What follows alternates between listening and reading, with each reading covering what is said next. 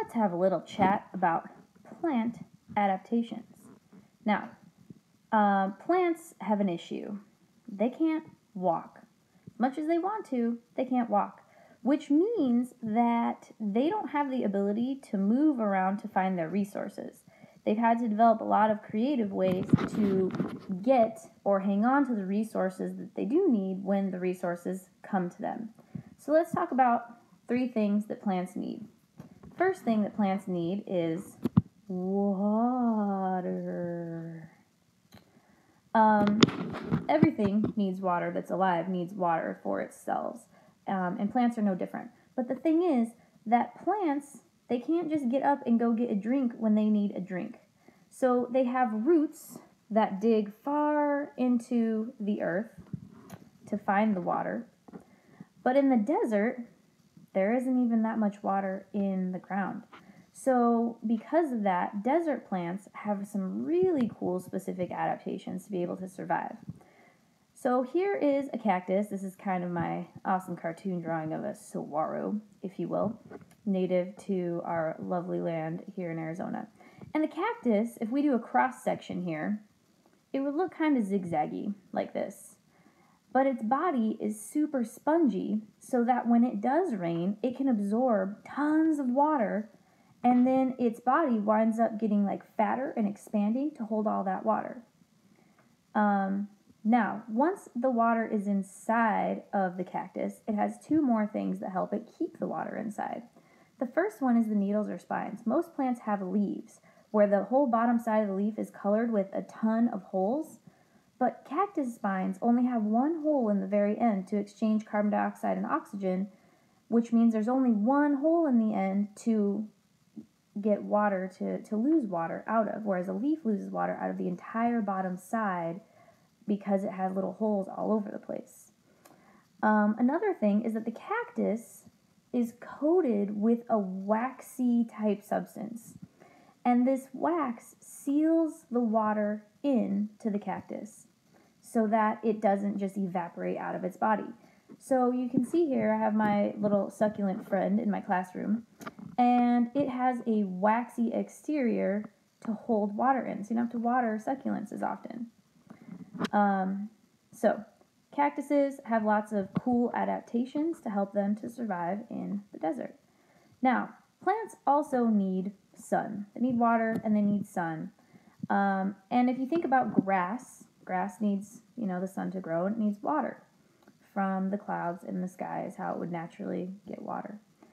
But sometimes there just isn't uh, enough water to go around, or enough sun, or it gets really cold. And plants have a problem because they can't get up and move. Plants can't migrate. So what they do is go dormant. And dormancy is kind of like plant hibernation, where they go into standby until the conditions are more suitable for them to be able to grow appropriately.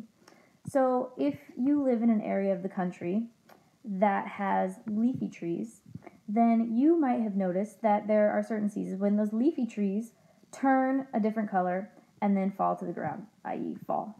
And then you're just left with empty branches the tree is not dead, it's gone dormant because it's not enough sun and it's not enough water and not enough heat for the tree to be able to survive through the winter. Grass will do the same thing. Grass will go yellow. It's not dead, it's dormant, and as soon as it gets enough sun, warmth, and water, the temperature gets to be correct, then it will start growing into grass again. So dormant things are just trying to survive the winter the way that a hibernating squirrel would survive the winter because they aren't able to move around. The third thing that plants need to do is they need to reproduce. So here's some petals on a flower, and this is the female part of the flower called the ovum. Inside of the ovum, just like in female um, animals, there are the ovaries, there are eggs. Now, up there at the top is where the nectar is found, and that's going to come in to be important here momentarily. Then there's these little things called anthers that hold the pollen, and oftentimes those are going to be below the um, nectar so that plants don't pollinate themselves. So here's our friend the bee, one of the best mutual relationships that exists. And the bee comes over and eats the nectar, and the pollen attaches to his body. And then he's going to fly over to another flower. And when he's eating the nectar off of the other flower, um, he's going to drop some of this pollen off and then pick up some more pollen off of this flower. And then this bee over here got some pollen from this flower and he flew over here. And when he was drinking nectar, he dropped some pollen um, over here. And bees just cruise around dropping pollen off at flowers. That pollen cruises down and will fertilize one egg. One pollen, one egg. And then that egg becomes a seed. Because a fertilized plant egg is a seed. A fertilized animal egg starts to grow into, you know, full on animal. But um, more and more pollen comes on more and more bees, and they drop that pollen and it travels down until all of those eggs have been fertilized. And once all of those eggs have been fertilized, it's a signal to the plant that it doesn't need the flower anymore. Um, and then it starts to drop the petals and drop those anthers.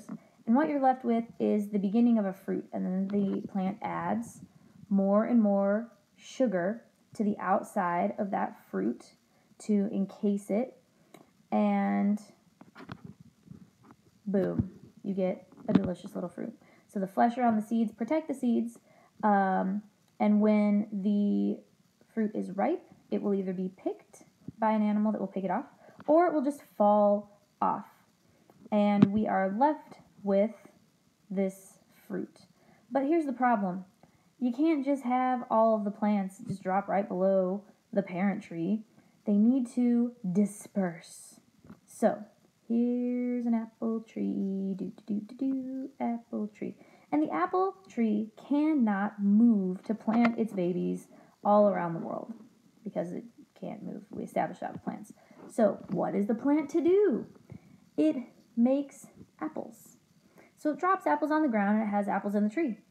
And all of the apple trees can't grow right under that parent tree, like we just said. Otherwise, they wouldn't get enough sun, and then everybody would die, and it would be really sad. See, they're going to try to grow, but then the parent tree is going to shade them, and nothing good comes from that, and then all the trees are going to die. There's just not enough space, there's not enough sun. So the seeds need to spread out, but the apples can't walk, and the tree can't walk. So let's try this again knowing that they can't walk and they can't all grow underneath of the parent.